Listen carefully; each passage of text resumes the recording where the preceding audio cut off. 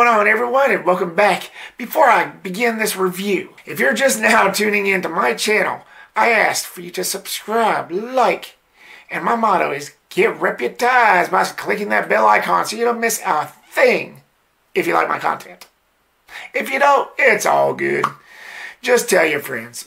nah, seriously, on the serious note, I just got back from watching Countdown, and I gotta say, there's a reason why I waited so long to review this movie. I looked at other reviewers and they weren't that keen on it, and I don't really blame them. I'm going to make this short and sweet because I didn't even script it. I didn't even feel the need to because I don't really have that much to say. But I wanted to review it anyway. So, Countdown follows these kids or teenagers or whatever, gets this app downloaded on their phone that tells them when they're going to die. And it's called Countdown. That's basically it. So start off the positives. I don't really have that much, except for commenting on the way the movie looked. It was done nicely. The way it was shot.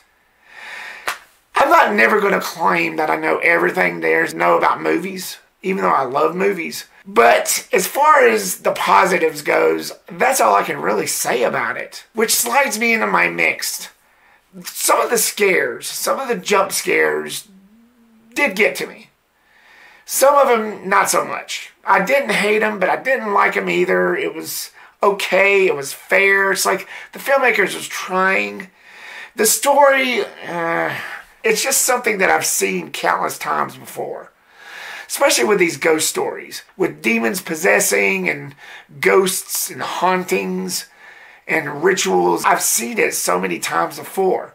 And it reminded me so much of like the Bye Bye Man and Slender Man and they had a lot of elements of Final Destination in this, which I kind of liked, but I prefer Final Destination over this. And let's get into the negatives. Oh man. The characters was boring. They were dull. They were bland. I didn't really care that much, and I'm not even going to name the actors that played in this because I already forgot. That's how bad it was.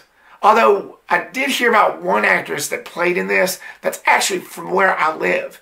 It's in the newspapers too. If you read it up, if you look at this girl's name, I think it's the, the girl that plays the actual lead character, the doctor in this. She's actually from where I live, which I thought that was pretty interesting. But still,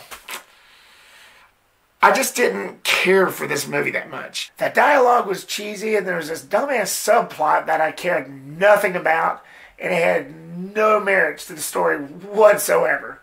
It was stupid. It wasn't that scary. Yes, it had some creepy moments, but I'm just, I'm not gonna lie.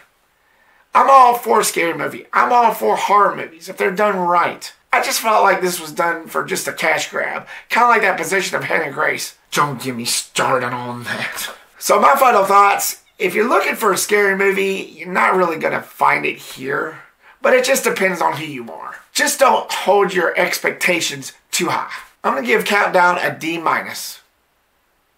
So, Countdown, what did you think of it? Did you see it yet? Leave me your comment down below and give me your thoughts. Stay tuned for more reviews and videos coming soon. My review for 21 Bridges should be out soon. And also Ford v Ferrari, if I hadn't uploaded already. I'm in between reviews. I've already got done with Ford v Ferrari the other day. I just hadn't uploaded it yet. So maybe by the time you see this, I would have uploaded it. If not, then it is what it is. You'll see it regardless. Thank you so much, guys, for watching this video. And as usual, like, subscribe, get reputized by clicking that bell icon so you don't miss a thing. I emphasize on that. Peace the rip out.